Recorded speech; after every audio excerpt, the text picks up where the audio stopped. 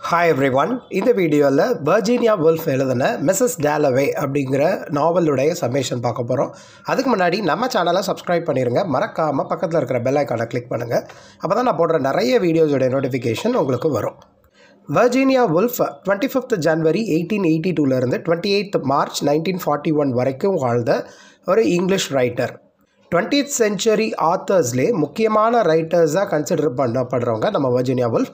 ஏன்னா இவங்களுடைய அந்த stream of consciousness narrative device வந்து ரொம்பவே ஃபேமஸ் அந்த stream of consciousness technique use பண்ணி எழுதுகிற பயனியரில் இவங்களும் ஒரு முக்கியமான ரைட்டர் இவங்களுடைய famous works Mrs Dalloway to the lighthouse Orlando a room of one's own the waves extra இப்போ மிஸ்ஸஸ் டேலவே பற்றி பார்க்கலாம். இந்த ஒர்க் வந்து ஃபோர்டீன்த் மே நைன்டீன் டுவெண்ட்டி ஃபைவ்ல பப்ளிஷ் ஆகிருக்கு இந்த நாவல் வந்து கிளாரிசா டேலவே அப்படிங்கிறவங்களுடைய ஒரு நாள் அவங்களுடைய லைஃப்பில் ஒரு நாள் நடக்கிற இன்சிடெண்ட்டை மையப்படுத்தி எழுதப்பட்டிருக்கும்.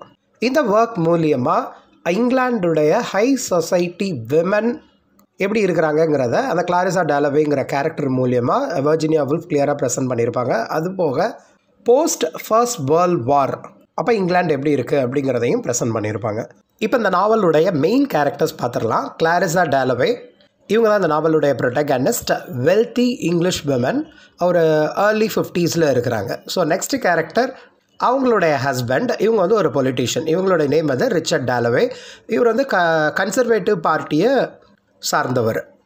அடுத்த கேரக்டர் செப்டிமஸ் வேரன் ஸ்மித் இவர் ஃபர்ஸ்ட் வேர்ல்ட் வாரில் பார்ட்டிசிபேட் பண்ணியிருப்பார். தேர்ட்டீஸில் இருக்கிற ஒரு கேரக்டர் பட் அந்த ஃபர்ஸ்ட் வேர்ல்ட் வார்க்கு அப்புறம் ரொம்பவே மென்டலி டிஸ்டர்ப்ட் ஆகிருப்பார் அடுத்தது பீட்டர் வால்ஷ் இவர் வந்து ஒரு இங்கிலீஷ் பியூரோக்ராட் இவருடைய ரோல் என்னங்கிறத நம்ம நாவல் வரும்போது பார்க்கலாம். கிளாரிஸா அப்புறம் ரிச்சர்ட் டேலவேயோடைய பொண்ணு எலிசபெத் டேலவே இவங்க வந்து இந்த நாவலில் ஒரு செவன்டீன் இயர் ஓல்டு டாட்டராக காட்டியிருப்பாங்க. இந்த செப்டிமஸ்ன்னு சொன்னேன் இல்லையா அவங்களுடைய ஒய்ஃப் வந்து ரைசா வேரன் ஸ்மித். அவங்களுடைய ஃபுல் நேம் வந்து லுக்ரீஷியா வேரன் ஸ்மித். இவங்க வந்து ஒரு இட்டாலியன் ஒய்ஃப் சாலி செட்டன் இவங்க கிளாரிஸாவுடைய க்ளோஸ் ஃப்ரெண்ட் அப்படின்னே சொல்லலாம். இது போக நிறைய கேரக்டர்ஸ் இருக்குது இந்த நாவலில் ஸோ எல்லாமே நம்ம நாவல் வரும்போது அவங்களோட இம்பார்ட்டன்ஸ் என்னங்கிறத பார்க்கலாம். ஸோ இந்த நாவல் எப்படி பிகின் ஆகுது பாருங்கள் மிஸ்ஸஸ் கிளாரிசா டேலவே இருக்காங்க இல்லையா அவங்க வந்து நைட்டு வந்து ஒரு பார்ட்டி அரேஞ்ச் பண்ணுறாங்க அந்த பார்ட்டிக்காக சில ஃப்ளவர்ஸ் வாங்கலாம் அப்படின்னு டிசைட் பண்ணிட்டு போகிறாங்க இந்த நாவல் எப்படி பிகின் ஆகுது அப்படின்னா June nineteen twenty three Wednesday அப்போ நடக்குது. So stream of consciousness technique use பண்ணி நம்ம வர்ஜினியா உல்ஃப் எழுதியிருக்காங்க இல்லையா? ஸோ நிறைய கேரக்டர்ஸோடைய அவங்களுடைய தாட் ப்ராசஸ் எப்படி இருக்குங்கிறத இந்த நாவல் ஒரு பெஸ்ட் எக்ஸாம்பிள்னே சொல்லலாம். ஃப்ளவர் வாங்க போகும்போது மிஸ்ஸஸ் கிளாரிசா டேலவே வந்து uh, தன்னுடைய எயிட்டீன் இயர்ஸ் இருக்கும்போது தேர்ட்டீன் எயிட்டீன் ஏஜ் இருக்கும்போது பர்டனில் அவங்க சம்மரை ஸ்பெண்ட் பண்ணதை நினச்சி பார்க்குறாங்க. அதுக்கப்புறம் வெஸ்ட் மினிஸ்டரில் ஒரு டுவெண்ட்டி இயர்ஸ் வாழ்ந்ததை நினச்சி பார்க்குறாங்க. அப்படி நடந்து போயிட்டு இருக்கும்போது அந்த பிக் பென் அந்த லார்ஜ் வெஸ்ட் மினிஸ்டர் கிளாக் வந்து ஸ்ட்ரைக் ஆகிறதையும் நோட்டீஸ் பண்ணுறாங்க அப்படியே அவங்க நடந்து விக்டோரியா ஸ்ட்ரீட்டில் நடந்து அந்த ஃப்ளவர் ஷாப்பை நோக்கி போயிட்டு இருக்கும்போது லண்டன் எப்படி கலர்ஃபுல்லாக மாறிடுச்சு அப்படிங்கிறத பார்க்குறாங்க குறிப்பாக அந்த ஆம்னி பஸ்ஸஸ் கேரேஜஸ் அப்புறம் அவங்க தலைக்கு மேலே பறக்கிற அந்த ஏரோப்ளைன் இதெல்லாமே பார்த்து வேர்ல்ட் வார் முடிஞ்சு ஃபைவ் இயர்ஸ் ஆயிருக்கு. பட் இருந்தாலும் நிறைய விஷயங்கள் இங்கிலாண்டில் சேஞ்ச் ஆயிடுச்சு அப்படின்னு சொல்லிட்டு நோட்டீஸ் பண்ணுறாங்க அதுக்கப்புறம் சென்ட் ஜேம்ஸ் பார்க்கில் வந்து கிளாரிஸாவை தன்னுடைய ஓல்டு ஃப்ரெண்டான ஹியூக் ஒயிட் பிரெட் அவங்கள பார்த்து நல்லா விசாரிக்கிறாங்க. அப்புறம் அவங்களுடைய ஒய்ஃபான எவினையும் மீட் பண்ணுறாங்க அவங்க ரெண்டு பேரும் டாக்டரை மீட் பண்ணுறதுக்காக வெயிட் பண்ணிகிட்டு இருக்காங்க. ஸோ அவங்க வந்து கிளாரிஸா நடத்துகிற அந்த நைட் பார்ட்டிக்கு வர்றேன் அப்படின்னு சொல்லி ப்ராமிஸும் பண்ணிக்கிறாங்க. ஹியூக் ஒயிட் பிரெட்டை பார்த்த உடனே கிளாரிஸாவுக்கு இன்னொரு ஞாபகம் வருது. நம்மளோட இன்னொரு ஓல்டு ஃப்ரெண்டு இருக்கார் பீட்டர் வால்ஷ் அவர் கூட நம்ம நிறைய டைம் ஸ்பெண்ட் பண்ணியிருக்கோம் பர்டனில் அப்படின்னு திங்க் பண்ணுறாங்க பீட்டர் கூட இவங்க நிறைய ஆர்கியூம் பண்ணியிருக்காங்கங்கிறதையும் யோசிச்சு பார்க்குறாங்க. ஏன்னா பீட்டர் வந்து நம்ம கிளாரிஸாவை ஒரு முறை ப்ரப்போஸ் பண்ணியிருப்பாங்க. அதுக்கப்புறம் வந்து அவங்க அந்த ப்ரப்போசல் வந்து ஒர்க் அவுட் ஆகாமல் போயிருக்கும். அதையும் திங்க் பண்ணி பார்க்குறாங்க. அப்புறம் இப்போ உள்ள ஹஸ்பண்டான ரிச்சர்ட் டேலவே கூட தன்னோட லைஃப் வந்து ரொம்பவே பீஸ்ஃபுல்லாக தான் போகுது அப்படின்னு திங்க் பண்ணிக்கிறாங்க. இப்போ நம்ம கிளாரிஸா டேலவே இருக்காங்க இல்லையா? அவங்க வந்து க்ரீன் பார்க் அதாவது பிகாடலி அப்படிங்கிற பிளேஸ் பக்கத்தில் உள்ள க்ரீன் பார்க் கிட்ட போகிறாங்க அங்கே வந்து தன்னோட லைஃப்பை பற்றி ரொம்பவே திங்க் பண்ணிக்கிட்டே இருக்கிறாங்க. அப்படி நடந்து போயிட்டு இருக்கும்போது ஒரு ஷாப் விண்டோ வெளியே ஷேக்ஸ்பியருடைய ஒரு கோட்டை ரீட் பண்ணுறாங்க like fear no more so அதை பார்த்தோன்னே இந்த புக்கை வாங்கி நம்ம எவெல்க்கு கொடுக்கணும் எவெல் ஒயிட் பிரெட்க்கு கொடுக்கணும் அப்படின்னு சொல்லி திங்க் பண்ணுறாங்க அதை ஃபாலோ பண்ணி ஒரு க்ளவுஸ் ஷாப்க்கு போகிறாங்க அங்கே போயிட்டு நம்ம க்ளவுஸ் வாங்கணும்னு நினைக்கிறாங்க. பட் அவங்களுடைய டாக்டரான எலிசபெத்க்கு வந்து க்ளவுஸ் பிடிக்காது. எப்படி தனக்கு ஷூஸ் பிடிக்காதோ அது மாதிரி எலிசபெத்துக்கு க்ளவுஸ் பிடிக்காது அப்படின்னு சொல்கிறாங்க எலிசபெத்துக்கு வந்து டாக்ஸ் தான் ரொம்ப பிடிக்குமா? அது போக அவங்களுடைய ஹிஸ்ட்ரி டியூட்டரான மிஸ் கில்மேனை எலிசபெத்துக்கு ரொம்ப பிடிக்கும். பட் கிளாரிஸாவுக்கு அதாவது நம்ம மிஸ்ஸஸ் டேலவேக்கு வந்து கில்மேனை பிடிக்கவே பிடிக்காது. அவங்க வந்து மென்டல் இல்னஸால் சஃபர் ஆகிற ஒரு கேரக்டர் தான். அவங்கள அவங்களே ரொம்பவே சஃபர் ஆக்கிக்கிறாங்க அப்படிங்கிறத நம்ம டேலவே உணர்கிறாங்க ஸோ டேலவே இப்போ வந்து நம்ம பாண்ட் ஸ்ட்ரீட்டில் உள்ள ஒரு ஃப்ளவர் ஷாப்குள்ளே நுழையும் போது அதாவது மல்பரி அப்படிங்கிற அந்த ஃப்ளவர் ஷாப்குள்ளே நுழையும் போது அங்கே உள்ள லேடி லைக் மிஸ் பிம் அவங்க வந்து கிளாரிஸாவை க்ரீட் பண்ணுறாங்க ஸோ ஃப்ளவர் ஷாப்பில் ஃப்ளவர் செலக்ட் பண்ணிகிட்டு இருக்கும்போது அவங்களுக்கு ஒரு பெரிய சத்தம் கேட்குது என்ன அப்படின்னா ஸ்ட்ரீட் அவுட் சைடில் ஒரு பிஸ்டல் சவுண்ட் கேட்குதுன்னு அவங்க நினைக்கிறாங்க. பட் மிஸ் பிம் அவங்க என்ன நினைக்கிறாங்க அப்படின்னா இது வந்து ஒரு மோட்டார் காருடைய சவுண்டு தான் கேட்குது அப்படின்னு ஒரு கன்ஃபியூஸ்டு சுச்சுவேஷனில் இருக்கிறாங்க. ஸோ அந்த பெரிய சத்தம் கேட்ட உடனே அங்கே உள்ள லண்டன் சிட்டிசன்லாம் ஃப்ளவர் ஷாப் கிட்ட வந்து என்ன சொல்கிறாங்க அப்படின்னா ஒரு மோட்டார் கார் எக்ஸ்ப்ளோர்ட் ஆயிடுச்சு அது யாருடைய கார்லேயே தெரில அப்படின்னு சொல்லி பேசிகிட்டு இருக்கும்போது அங்கே வந்து ஒரு எட்கர் ஜே வாட்கஸ் அப்படிங்கிறவர் என்ன சொல்லிடுறாரு அப்படின்னா அது வந்து பிரைம் மினிஸ்டரோட கார் அப்படின்னு சொல்கிறாங்க பக்கத்தில் தான் செப்டிமஸ் பேரன் ஸ்மித் இந்த விஷயத்தை கேட்டுட்டு இருக்காரு. அவர் ஆல்ரெடி அந்த ஃபர்ஸ்ட் வேர்ல்ட் வார்க்கு அப்புறம் ரொம்பவே மென்டலி டிஸ்டர்ப்டான ஒரு கேரக்டர் இல்லையா? ஸோ அவரும் அந்த விஷயத்தை கேட்டு ரொம்பவே டிஸ்டர்ப் ஆயிடுறாரு. இதை பார்த்த உடனே நம்ம ரைசா வேரன் ஸ்மித் அவங்களோட ஒய்ஃப் இருக்காங்க இல்லையா? செப்டிமஸோட ஒய்ஃப் அவங்க வந்து அந்த இடத்த விட்டு செப்டிமஸை கூட்டு போயிடணும் அப்படின்னு சொல்லிட்டு இமீடியட்டாக இழுத்துட்டு ஓடிடுறாங்க. பட் செப்டிமஸோட மைண்ட் செட் எப்படி ஃப்ரேம் ஆயிடுது அப்படின்னா தன்னைத்தானே கொண்டுக்கணும் சூசைட் பண்ணிக்கணும் அப்படிங்கிற மாதிரி மைண்ட் செட்டோட அவர் இருக்கார். இந்த பர்டிகுலர் மூமெண்ட்டில் லண்டன் பீப்புள் எல்லாரும் என்ன பேசிக்கிறாங்க அப்படின்னா யாரோ இம்பார்ட்டன்ட் பீப்புள் தான் அந்த காரில் இருந்திருக்காங்க. ஸோ நம்ம டேலவேயும் என்ன திங்க் பண்ணுறாங்க அப்படின்னா அதில் வந்து குயின் இருப்பாங்க போல்க அப்படின்னு திங்க் பண்ணிக்கிறாங்க. அப்போ வந்து அந்த வானத்தில் வந்து ஒரு ஏரோப்ளைன் அப்பியர் ஆகுது. அது வந்து ஒரு லெட்டர்ஸை எழுதுகிற மாதிரி இண்டிகேட் ஆகுது. இதை பார்த்த உடனே ரெசியா வேரன் ஸ்மித் இருக்காங்க இல்லையா? அவங்க வந்து செப்டிமஸ் கிட்ட அந்த ஏரோப்ளைனை பாருங்கள் அப்படின்னு சொல்லி காட்டும்போது இவர் ரொம்பவே ஹாப்பி ஆயிடுறாரு. லைக் அவர் வந்து இந்த ட்ரீஸ் எல்லாம் அலைவாக தான் இருக்குது இந்த ஸ்பேரோஸ் பார்க்கில் இருக்கிறது எல்லாமே ஒரு பெரிய சென்சேஷன் கொடுக்குற மாதிரி அவர் ஃபீல் பண்ணுறாரு செப்டிமஸோடைய ஒய்ஃப்க்கு தன்னுடைய ஹஸ்பண்ட் க்யூர் ஆயிடணும் அப்படின்ட்டு தான் டாக்டர் ஹால்ம்ஸை திங் தேடி போகிறாங்க பட் செப்டிமஸோடைய ஒய்ஃப் அவங்கள பார்த்துக்கிறதுலே ரொம்ப கான்ஷியஸாக இருந்துட்டு தன்னுடைய ஹெல்த்தை க பார்க்காம ரொம்பவே மெலிஞ்சு போயிட்டாங்க. அதுக்கு எப்படி எக்ஸாம்பிள் சொல்கிறாங்க பார்த்தீங்கன்னா அவங்களோட வெட்டிங் ரிங்கே அவங்க கையிலேருந்து கலண்டு விழுற அளவுக்கு மெலிஞ்சு போயிட்டாங்களாம். ஸோ இப்போ வந்து செப்டிமஸோடைய அப்பாயின்மெண்ட் வந்து சார் வில்லியம் பிராட்ஷா கூட இருக்குதுன்னு சொன்னேன் இல்லையா? அவங்களுடைய அப்பாயின்மெண்ட்காக வெயிட் பண்ணியிருக்காங்க ஏன்னா அவர் வந்து ரொம்ப ஃபேமஸ் சைக்காட்ரிஸ்ட் செப்டிமஸோடைய சுச்சுவேஷன் ஏன் இப்படி ஆயிருக்கும் அப்படின்னா அந்த ஃபஸ்ட்டு வேர்ல்டு வாருக்கு முன்னாடி அவர் வந்து ஒரு பட்டிங் யங் போய்ட்டாகவும் ஷேக்ஸ்பியரோட ரைட்டிங்கை ரொம்பவே விரும்பின ஒரு கேரக்டராகவும் இருந்தார். ஸோ அந்த ஃபர்ஸ்ட் வேர்ல்டு வார்க்கு அப்புறம் அவருடைய க்ளோஸ் ஃப்ரெண்டான இவான்ஸ் வந்து இறந்து போயிருப்பாங்க அந்த வாரில் ஸோ அதனாலவே அவர் வந்து ரொம்பவே ஸ்ட்ரெஸ்ட் அவுட் ஆகிருப்பார் எப்பயுமே சேடாக இருக்கிற ஒரு கேரக்டர் மாதிரி காட்டியிருப்பாங்க இந்த நாவலில் அந்த சைக்காட்ரிஸ்ட் சார் வில்லியம் இருக்கார் இல்லையா? அவர் வந்து நம்ம செப்டிமஸ் சொல்கிறத அவருக்கு அவரால் ஏற்றுக்கவே முடியாது. ஏன்னா நிறைய விஷயம் அவர் ஸ்ட்ரெஸ்ட் அவுட்டாக இருக்கிறனால பேசும்போது சார் வில்லியம் அதெல்லாம் இக்னோர் பண்ணிவிட்டு என்ன சொல்லுவார் அப்படின்னா அவங்களோட ஒய்ஃபான லுக்ரீஷியா கிட்ட இவரை வந்து ஒரு மென்டல் இன்ஸ்டிடியூஷனுக்கு அனுப்பிடணும். அப் அங்கே தான் அவரால் ரெக்கவர் ஆக முடியும் அப்படிங்கிற மாதிரி ஒரு சஜஷன் கொடுத்துட்றாரு மிஸ்ஸஸ் டேலவேயுடைய ஹஸ்பண்டான ரிச்சர்ட் டேலவே இப்போ சீன் வந்து அங்கே ஷிஃப்ட் ஆகுது. அவங்க வந்து ஒரு லேடி பர்டன் கூட லன்ச் சாப்பிட்டுக்கிட்டு இருக்காங்க. ஸோ லேடி பர்டன் அப்புறம் ஹியூக் ஒயிட் பிரெட் இவங்கெல்லாம் இருக்கிறாங்க. இந்த ரிச்சர்ட் டேலவேயும் ஹியூக் பிரெட்டும் அவங்களுடைய எமிக்ரேஷன் சார்ந்த லெட்டர் எழுதுறதுக்கு ரொம்பவே அவங்க ஹெல்ப்ஃபுல்லாக இருந்திருக்காங்க. ஸோ லஞ்ச் முடிஞ்சதுக்கப்புறம் நம்ம ரிச்சர்ட் டேலவே என்ன பண்ணுறாரு அப்படின்னா இமீடியட்டாக கிளாரிசாவுக்காக சில ரோசஸ் வாங்குறாரு. ஸோ அந்த மக்கள் முன்னாடி அதாவது நம்ம லேடி பர்டன் அப்புறம் ஹியூக் வெட் பிரெட் இருக்காங்க இல்லையா அவங்ககிட்ட என்ன சொல்கிறாரு அப்படின்னா நான் வந்து கிளாரிஸாவை ரொம்பவே விரும்புகிறேன் இந்த ரோசஸ்லாம் அவங்களுக்கு தான் கொடுக்க விரும்புகிறேன் அப்படின்னு ஷேர் பண்ணுறாங்க அவர் வந்து அந்த லவ்வை சொல்லணும்னு அவசியம் இல்லை பட் அரிஸ்டோக்ராட் பீப்புள் முன்னாடி தான் வந்து தன்னோட ஒய்ஃபை ரொம்பவே நேசிக்கங்கிறத அப்பப்போ ப்ரெசன்ட் பண்ணிக்கிட்டே இருக்கார். பட் மிஸ்ஸஸ் டேலவேக்கு தான் தன்னுடைய லைஃப் எப்படி போயிட்டுருக்குங்கிறது அவங்களுக்கு தெரியும். ஏன்னா டேலவே என்ன எதிர்பார்ப்பாங்க அப்படின்னா ஹஸ்பண்ட் அண்ட் ஒய்ஃப்க்கு வந்து ஒரு ப்ரைவசி இருக்கணும் ஒரு ஆத்மானமான நம் லவ் இருக்கணும். பட் அது வந்து நம்ம ரிச்சர்ட் டேலவே கிட்ட இருந்து கிடைக்கல அப்படிங்கிறது கிளாரிஸாவுக்கு கிளியராகவே தெரியுது.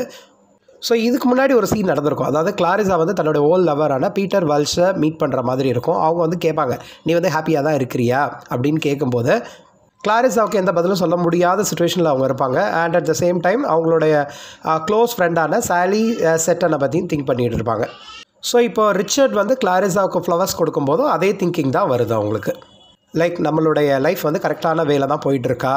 பீட்டர் வெல்ஸ் கேட்ட மாதிரி ஹாப்பியாக தான் நம்ம இருக்கோமா அப்படிங்கிற மாதிரி திங்க் பண்ணுறாங்க அதே ஆஃப்டர்நூன் வந்து எலிசபெத் அவங்களோட டாட்டரான எலிசபெத் அவங்களுடைய ஹிஸ்ட்ரி டியூட்டரான மிஸ் கில்மேனோட ஷாப்பிங் போகிறதா ஷேர் பண்ணுறாங்க பட் நான் ஏற்கனவே சொன்ன மாதிரி மிஸ் கில்மேனுடைய அப்பியரன்ஸ் அப்புறம் அவங்களுடைய மைண்ட் செட் வந்து நம்ம மிஸ்ஸஸ் டேலவேக்கும் அப்புறம் ரிச்சர்ட் டேலவேக்கும் பிடிக்கவே பிடிக்காது. பட் எலிசபெத்க்கு ரொம்ப க்ளோஸான கேரக்டர் யார் அப்படின்னா அவங்களோட ஹிஸ்ட்ரி டியூட்டரான மிஸ் கில்மேன் தான். So Miss Kilman Westminster அபேயில் உள்ள சர்ச்சுக்கு போகும்போது எலிசபெத் இமீடியட்டாக ஒரு ஆம்னி பஸ் ரைடை ட்ரை அவுட் பண்ணுறாங்க இப்போ சீன் வந்து எங்கே ஷிஃப்ட் ஆகுது பாருங்கள் செப்டிமஸ் அண்ட் அவங்களுடைய ஒய்ஃபான லுக்ரீஷியா செப்டிமஸ் கிட்டே நடக்குது. அப்போ வந்து லுக்ரீஷியா வந்து ஒரு ஹேட் மேக் பண்ணிக்கிட்டு இருக்காங்க. ரெண்டு கப்பலுமே ரொம்ப ஹாப்பியாக ஒரு ஜோக்ஸை ஷேர் பண்ணிக்கிட்டு ஒரு ஹாப்பினஸ் மொமெண்ட்டு தான். அப்போ வந்து டாக்டர் ஹோம்ஸ் வந்து செப்டிமஸை பார்க்குறதுக்காக அவங்களோட வீட்டுக்கு வர்றாங்க. ஸோ இதை பார்த்தோன்னே லுக்ரீஷியா என்ன பண்ணுறாங்க அப்படின்னா ஸ்டாப் பண்ணுறாங்க லைக் வேண்டாம். இப்போ அவர் ஹாப்பியாக தான் இருக்கிறாரு அப்படின்னு சொல்லி டாக்டர் ஹோம்ஸை ஸ்டாப் பண்ணும்போது இந்த விஷயத்த செப்டிமஸ் பார்த்துடுறாரு. லைக் நமக்கு ஏதோ ஒரு விஷயம் இருக்குது இதை க்யூர் பண்ணுறங்கிற பேரில் தான் இங்கே டாக்டர் ஹோம்ஸ் அடிக்கடி வர்றாரு. ஸோ டாக்டர் ஹோம்ஸ் வந்து ஒரு மான்ஸ்டர் மாதிரி.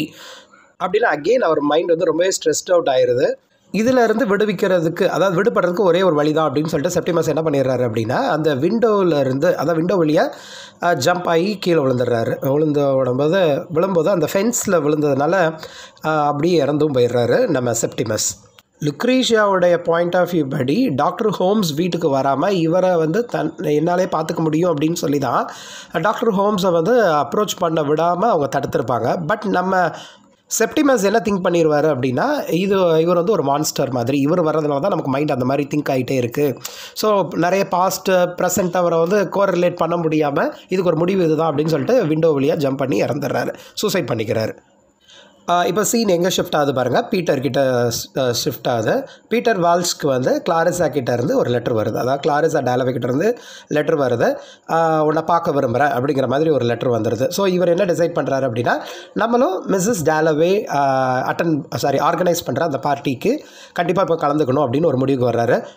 பார்ட்டிக்கு வந்த பீட்டர் வந்து ரொம்ப லோன்லியாக ஃபீல் பண்ணுறாரு ஏன்னா எல்லாருமே புதுசு. இந்த கெஸ்ட்டுக்கு மத்தியில் தான் தான் நியூ அப்படிங்கிற மாதிரி திங்க் பண்ணி லோன்லியாக ஃபீல் பண்ணிக்கிட்டு இருக்கும்போது கிளாரிசாவுக்கு நியூஸ் வருது.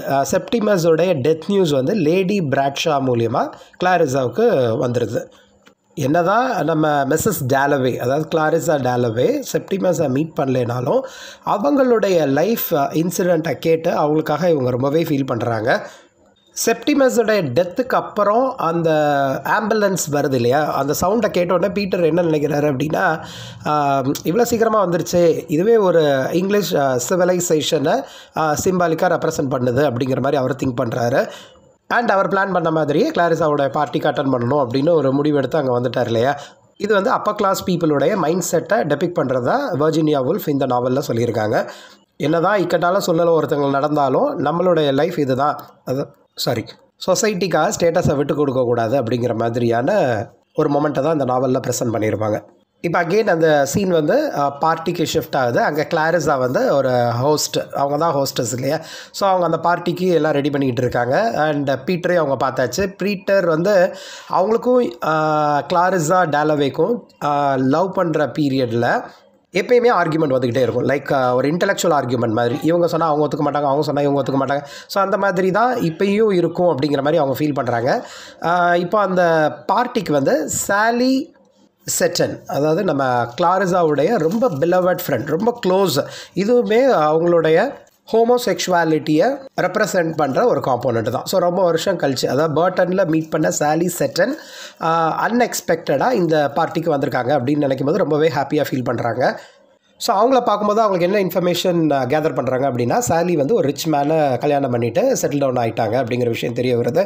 நான் ஏற்கனவே சொன்ன மாதிரி சார் வில்லியம் பிராட்ஷாவும் அந்த பார்ட்டிக்கு வந்தாச்சு. அவங்களுடைய ஒய்ஃப் தான் லேடி பிராட்ஷான்னு சொன்னேன் இல்லையா? அவங்க தான் கிளாரிஸா கிட்ட செப்டிமஸோடைய சூசைடை பற்றி சொல்கிறாங்க பட் செப்டிமஸை பற்றியே கிளாரிஸாவுக்கு கிளியராக தெரியாது. மிஸ்ஸஸ் டேலவே நம்ம கிளாரிஸாங்கிறது மிஸ்ஸஸ் டேலவே தான். அவங்களுக்கு கிளியராக தெரியாது. இருந்தாலும் அவங்களுடைய டெத்துக்காக ரொம்பவே ஃபீல் பண்ணுறாங்க மோரோவர் அவருடைய டெத்தை வந்து அவருடைய அந்த சூசைட் ஆக்டிவிட்டியை ரொம்பவே அட்மையர் பண்ணுறாங்க எதனால் அப்படின்னா அவருடைய சோல் வந்து பியூரிட்டி ஆஃப் சோல் ஸோ அவருடைய சூசைட் வந்து ஒரு ஆக்ட் ஆஃப் கம்யூனிகேஷன் அப்படிங்கிற மாதிரி இவங்க சொல்கிறாங்க ஸோ கிளாரிஸாவுடைய பார்ட்டி வந்து ஒரு ஸ்லோ சக்ஸஸ் அப்படின்னே சொல்லலாம். ஏன்னா இந்த பார்ட்டியில் வந்து அந்த ஒன் டே அவங்க இன்வைட் பண்ண எல்லா கேரக்டர்ஸும் அந்த நாவலில் மென்ஷன் பண்ண எல்லா கேரக்டர்ஸும் அட்டன் பண்ணுறாங்க மோரோவர் அவங்க பாஸ்டில் சந்தித்த சில கேரக்டர்ஸும் அந்த பார்ட்டிக்கு வராங்க இல்லையா?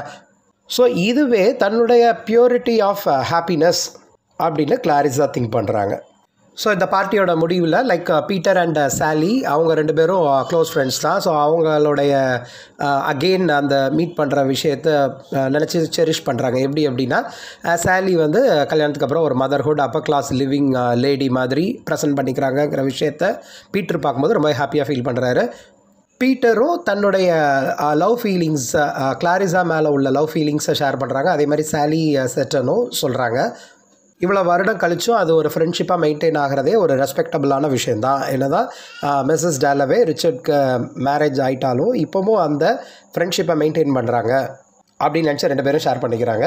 இருந்தாலும் நம்ம பீட்டர் வால்ஷ்க்கு நம்ம கிளாரிஸா டேலவேயை பார்க்கும்போது ரொம்பவே எக்ஸைட் ஆகிறாரு ஸோ இந்த நாவலில் சொல்லப்பட்டிருக்க தீம்ஸ் என்ன அப்படின்னா மெயினாக அந்த மென்டல் இல்னஸ் அப்புறம் எக்ஸிஸ்டென்ஷியல் இஷ்யூஸ் அப்புறம் ஹோமோசெக்ஷுவாலிட்டி அப்படிங்கிற காம்போனன்ட் எல்லாமே இந்த கேரக்டர்ஸ் மூலயமா வர்ஜினியா வல்ஃப் கிளியராக சொல்லியிருக்காங்க. இதுதான் இந்த நாவலுடைய சம்மேஷன் ஸோ இந்த மாதிரி இங்கிலீஷ் லிட்ரேச்சர் ரிலேட்டட் வீடியோஸ் நிறைய பார்க்குறதுக்கு நம்ம சேனலை சப்ஸ்கிரைப் பண்ணிருங்க.